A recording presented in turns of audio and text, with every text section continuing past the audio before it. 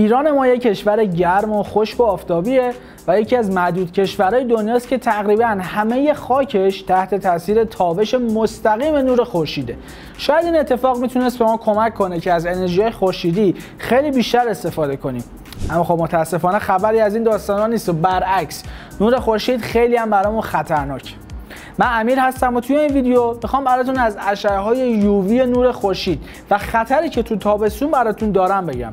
پس اگه شما هم توی تابستون خیلی در معرض نور خورشید هستید حتما این ویدیو رو تا انتها تماشا کنید.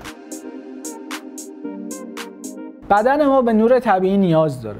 نه فقط برای اینکه نور طبیعی به بازسازی سلولای بدن ما کمک می‌کنه و ویتامینایی مثل ویتامین دی داره که برای بدنمون لازمه. چون نور طبیعی به خواب بهتر شما تو شبم کمک می‌کنه و مانع بزرگی برای افسردگیه. کلا نور خورشید برای ما لازمه اما این ضروری بودن نباید باعث بشه که از اون ور بون بیفتیم. ما اگر زیاد تو معرض نور خورشید باشیم قطعا یه سری مریضی می‌گیریم. موضوع فقط گرمازدگی نیست. خورشید اشعه هایی داره که زیاد زیر اونا موندن قطعا براتون درد سرساز میشه. نور خورشید از خودش اشعه ساطع می‌کنه که بهش میگن یووی یا پرتو فرابنفش. یه سری از منابع مصنوعی نور مثل دستگاه جوشکاری لیزر بدن و دستگاه سولاریوم که پوست رو تیره می‌کنن اشعه فرابنفش دارن. اما هیچ کدوم از اونها به اندازه فرابنفشی که از خورشید به ما می‌رسه خطرناک نیست. اشعه فرابنفش خورشید به طور کلی سه مدل داره. مدل اول رو بهش میگن UVC که لایه اوزون از رسیدن اون به ما جلوگیری می‌کنه. اما تو کشورهای مثل استرالیا و نیوزلند و قطب جنوب که به سوراخ لایه اوزون نزدیکترن این اشعه به زمین می‌رسه و به خاطر همین مردم اونورا باید حواسشون باشه که این اشعه خیلی بهشون نخوره. دومین مدل اشعه فرابنفشی که از خورشید میاد اسمش UVB که بیشتر تاثیرگذاریش روی پوست شماست و به لایه های بیرونی پوستتون هم آسیب زیادی می‌زنه. بهترین راه برای محافظت از پوستتون در مقابل UVB اینه که ضد آفتابای خوبی بخرید و به پوستتون قشنگ بمالید. حد امکان لباسی بپوشید که از بخشایی که بیشتر بدنتون در طول روز بهش نور می‌خوره محافظت کنه و از کلاه لبهدار هم حتما استفاده کنید. سومین و خطرناکترین مدل اشعه فرابنفشی که توی نور خورشیده UVA که به نور مرئی خیلی نزدیکه و به همین دلیل می‌تونه به راحتی از قرنیتون عبور کنه و به عدسی چشماتون برسه. بحث چشاتون شد. به نظرم توی که داری این ویدیو رو با این چشای خوشگلت می‌بینی حتما like ش کن و اگه channel ما رو دنبال نمی‌کنی اون دکمه subscribe رو بزن و اون زنگوله کنارش رو هم بنواز که زودتر از همه در جریان جدیدترین ویدیوهامون قرار بگیری آره خلاصه داشتم می‌گفتم که UVA خیلی خطرناکه. نه تنها وارد چشماتون میشه و برای انبیهتون خطرناکه بلکه به لایه های زیری پوستتون هم می‌رسه و واقعا ناجوره. پس بهتره که عینک های آفتابی پولاریزه استاندارد و اصل و با کیفیتی بخرید که تابش مستقیم این اشعه های دارک به چشماتون رو به حداقل میرسونه. ولی خب در مجموع ما راهکار خیلی خاصی برای مقابله با UVA نداریم. جز اینکه توی ساعت های اوج تابش نور خورشید که این اشعه هم شدیداً توش هست حد امکان از خونه خارج نشیم. کلا شهرهای شمال شرق تا شمال غرب ایران یعنی گرگان و مثلا خراسان شمالی و سمت مشهد و آذربایجان غربی و شرقی و استانهای شمالی مثل گیلان و مازندران. تا حدودی اردبیل ما حداقل یووی رو داریم. اما توی بقیه استانهای ایران میزان اشعه فرابنفش یه مقدار بیشتره.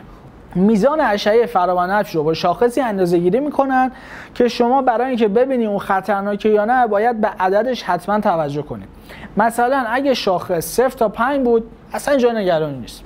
اگه بین 6 تا 11 بود یه مقدار حواست بهتره به خودت باشه و اگه بیشتر از 11 بود اوضاع خیلی ناجوره و بهتره تو خیابون دیده در حالی که ما امروز اومدیم استودیو و داریم این ویدیو رو می‌سازیم.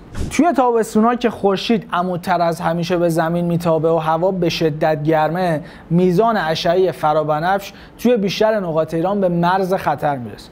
پس بهتره که همه نکات ایمنی رو رعایت کنید. چیا؟ یادتون رفت؟ دوباره بهتون میگم.